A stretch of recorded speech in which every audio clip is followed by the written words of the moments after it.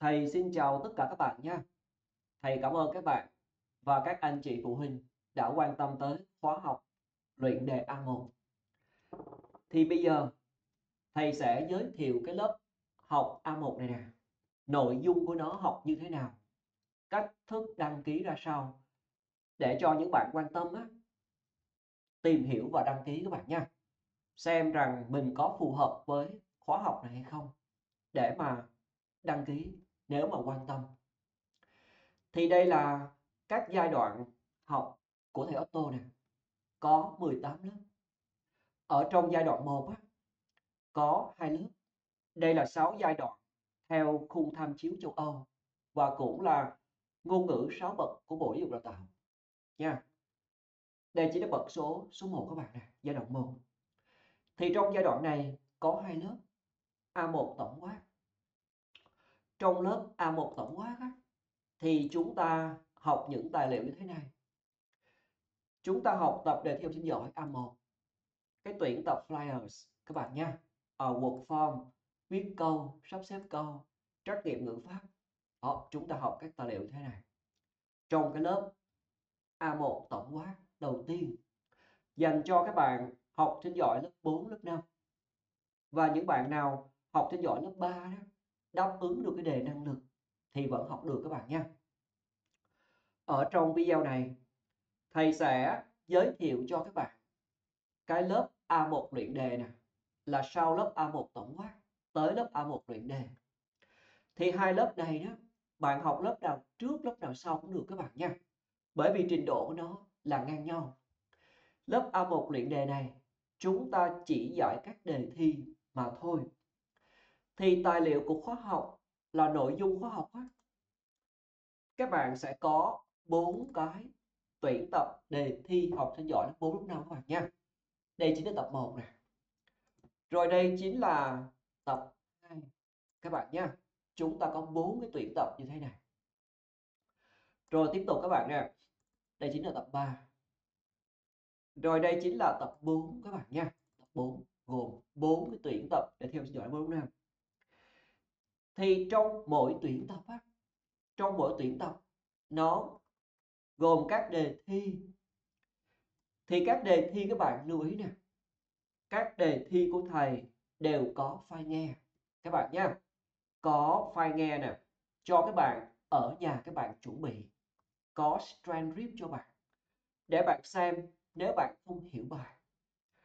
Rồi những cái câu về phát âm và chọn cái từ không cùng loại nè về ngữ pháp, về giới từ, về work form về sửa đổi sai guided contrast nha, chia thị nha điền từ phù hợp, đọc hiểu, vân vân. Thầy sẽ hướng dẫn chi tiết từng câu từng câu một. Các bạn nha, đó, mỗi quyển á, nó có 8 đề thi. 4 quyển là 32 đề thi. Thầy và các bạn sẽ làm cùng với nhau từng câu từng câu một phần nghe bạn chuẩn bị trước. Nếu bạn nghe bạn không hiểu thì có transcript và lời thoại bạn nhìn vào bạn rất dễ hiểu luôn. Tại sao bạn chọn cái câu đó? Mà không chọn cái câu đó các bạn nha. Bạn nào quan tâm tới lớp này á các bạn làm cái đề năng lực nha. Đạt được 50% thì các bạn sẽ học được cái lớp này. Khi mà bạn đạt được năng lực á, thì thầy sẽ gửi cho bạn cái file gọi là file đăng ký nè nó gồm đầy đủ thông tin luôn. Thầy ví dụ ngày khai giảng nè, nha. Đó, ngày khai giảng nè. Khi đăng ký trước ngày này nè, là học phí đây nè. Rồi, đăng ký sớm. Các bạn nhận tài liệu sớm. Đã có rất nhiều bạn đăng ký. Thầy đã add nhóm. Và các bạn in tài liệu ra, các bạn làm trước cho thầy. Để vào cái ngày khai giảng chúng ta học. Các bạn làm bài rất tốt. Các bạn có sự chuẩn bị rất tốt.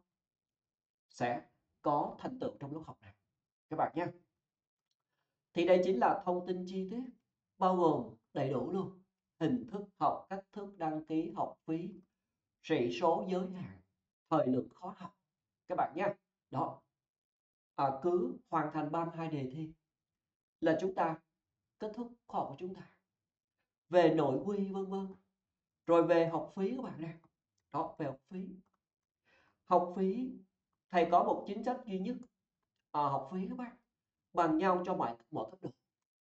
Lớp số 1 dễ nhất. Lớp số 18 khó nhất. Cũng cùng một mức học phí. Và những bạn nào trước đây đã học cùng với thầy thì có sự ưu tiên về học phí. Các bạn nha bạn hãy tìm hiểu khó học của thầy cho nó kỹ trước khi bạn đăng ký. Lớp này chỉ giải đề thi luyện các đề thi học sinh giỏi lớp 4 lớp 5 giúp cho bạn tự tin hơn. Khi bạn làm các đề kiểm tra trên trường hoặc khi bạn đi thi học sinh giỏi nếu tỉnh thành của các bạn có sự tổ chức các bạn nha đó có sự tổ chức. Bạn nào mà cảm thấy rằng lớp A1 của mình á nó dễ à, nhưng mà vẫn muốn ôn lại thì các bạn học lớp A1 và kết hợp với một lớp khác kết hợp với một lớp A2 vân vân nha thầy có rất nhiều lớp các bạn học theo trình độ nha học theo trình độ học theo khả năng. Và lớp của thầy dành cho những bạn học sinh giỏi là chủ yếu các bạn nha. Thầy cảm ơn các bạn đã quan tâm tới khóa học và mong muốn gặp bạn trong khóa học. Cảm ơn các bạn rất nhiều. À, xin chào tạm biệt tất cả các bạn nha.